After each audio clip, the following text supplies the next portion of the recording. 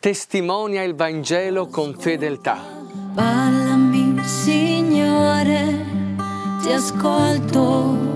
Cristo risorto! Buona giornata carissimi amici.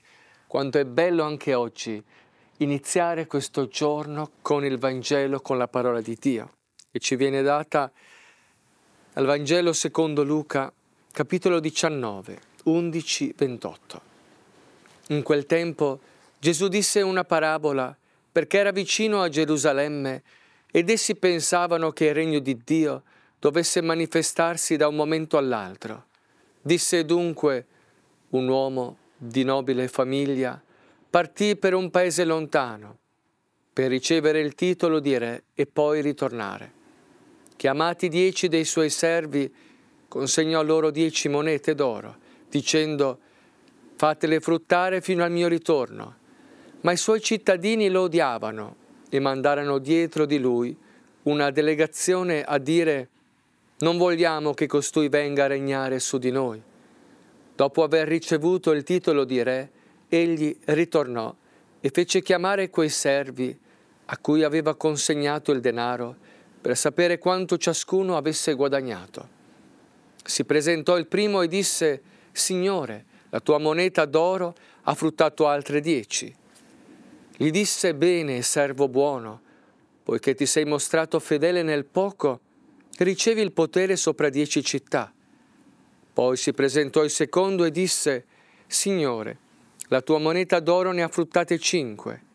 Anche a questo disse, tu pure sarai a capo di cinque città. Venne poi anche un altro e disse, Signore, ecco la tua moneta d'oro che ho tenuto nascosta in un fazzoletto. Avevo paura di te, che sei un uomo severo, prendi quello che non hai messo in deposito e mieti quello che non hai seminato. Gli rispose, dalle tue stesse parole ti giudico, servo malvagio.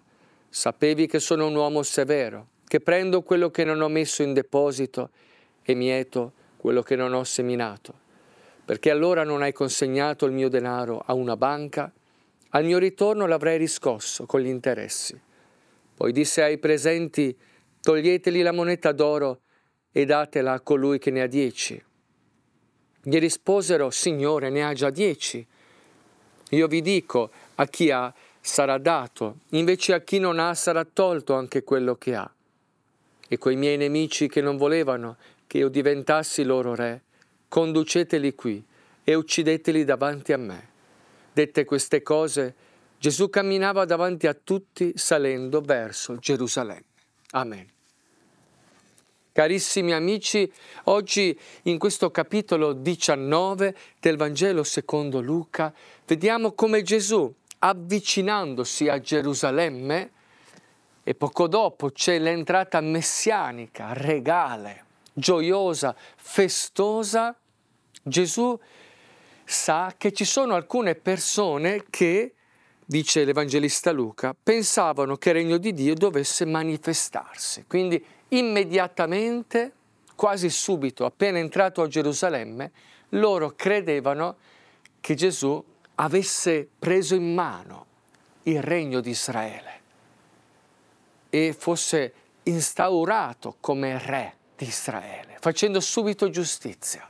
Ma Gesù sta profeticamente annunciando ciò che sarà attraverso questa parabola, parlando di un uomo di nobile famiglia che parte per un paese lontano per ricevere il titolo di re e poi ritornare.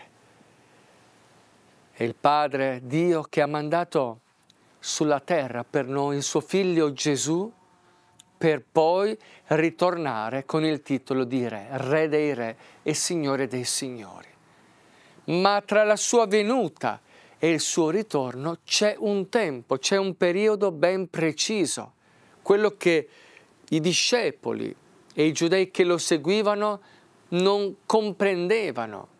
E molto spesso nemmeno noi capiamo che viviamo in questo periodo intermedio tra la prima venuta di Gesù e la seconda venuta siamo ormai nelle ultime due settimane del tempo ordinario.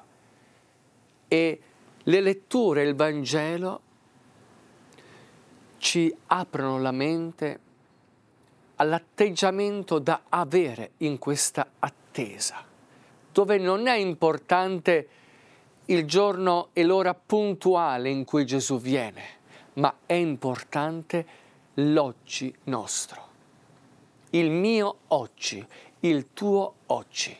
Viviamo anche in questo giorno l'oggi. Quindi queste persone, questi servi a cui il padrone ha affidato delle monete d'oro, è la fiducia che Dio mette nelle nostre mani, in quanto testimoni suoi. Quando dice ai servi, bene, siete stati fedeli nel poco, vi darò autorità su molto. E questa è la fedeltà. A chi ha sarà dato e a chi non ha sarà tolto anche quello che ha. La fedeltà alla testimonianza.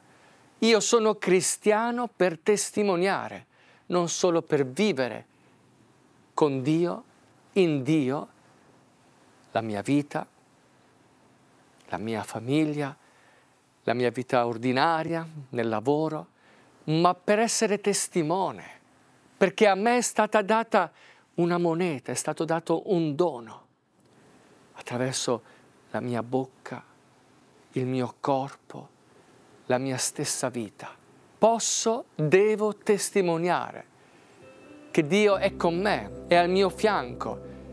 Oggi il Vangelo ci spinge proprio, ci sollecita ad avere un impegno missionario per il Vangelo in questa attesa del ritorno. Noi siamo coloro che prolungano l'annuncio che ha iniziato Gesù stesso. Convertitevi perché il regno di Dio è in mezzo a voi. Noi innanzitutto dobbiamo assumere queste condizioni di conversione, cioè essere pronti, aperti al Vangelo di Dio e poi testimoniarlo agli altri. E la nostra testimonianza si basa sulla misericordia di Dio. Dio è grande, fratelli e sorelle. Dio è buono, Dio è amore, Dio è venuto affinché noi avessimo la vita e l'avessimo in abbondanza. Quanto è importante fare innanzitutto l'esperienza della vita piena e benedetta di Gesù, con noi e per noi. Ecco perché allora non penseremo più che Dio è cattivo, non avremo più paura di Dio. Signore, io ho nascosto il dono che mi hai dato ma saremo generosi come lo è Lui. Ecco perché oggi diciamo, Signore Gesù, veniamo a te con un cuore aperto, un cuore che è disponibile ad essere lavato, ad essere usato. Usami, Signore, e il dono che tu hai fatto a me, io lo possa fare e donare agli altri. Voglio essere un testimone gioioso della tua presenza e della tua risurrezione. Ma che io non nasconda mai il dono dell'esperienza con te, ma la possa donare oggi stesso a coloro che incontrerò. A te Gesù sia sempre l'onore e la gloria, nei secoli dei secoli. Amen. Allora, carissimi amici, testimonia il Vangelo con fedeltà. Questo è lo slogan di oggi. Testimoniamolo con la nostra stessa vita, nella gioia. Grazie per avermi accolto. Buona giornata, a domani. Ciao.